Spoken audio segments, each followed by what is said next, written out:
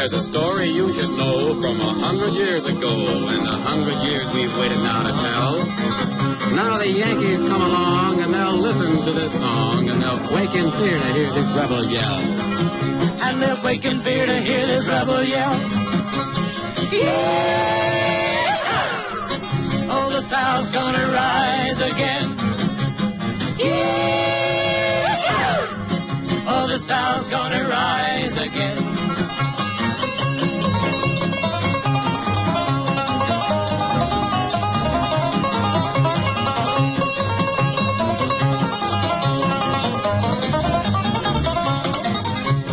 Robert E. Lee broke his musket on his knee, and a thousand pieces shattered on the ground. But he looked up then, and he gathered up his men, and from his lips there came an awful sound.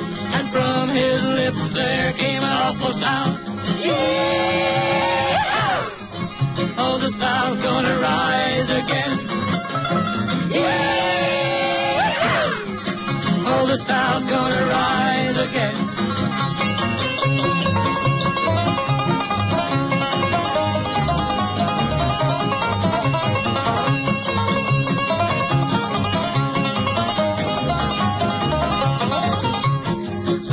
Took a gun and he made the Yankees run, but he took a fatal bullet in the chest.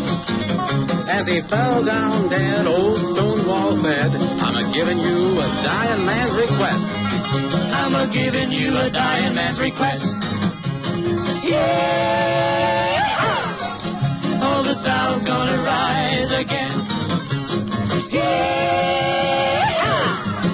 Oh, the South's gonna rise again.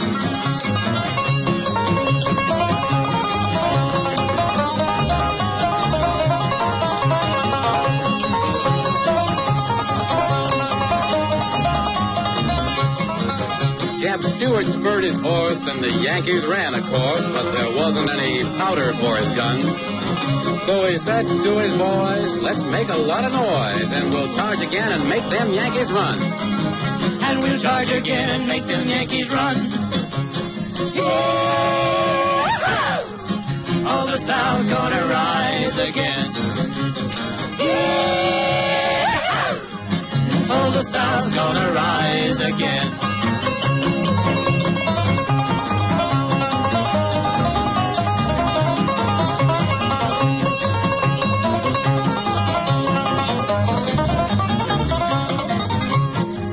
Robert E. Lee broke his musket on his knee, and a thousand pieces shattered on the ground. But he looked up then, and he gathered up his men, and from his lips there came an awful sound.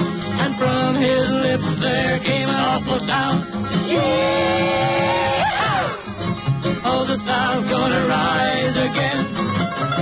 Yeah! Oh, the South's gonna rise again.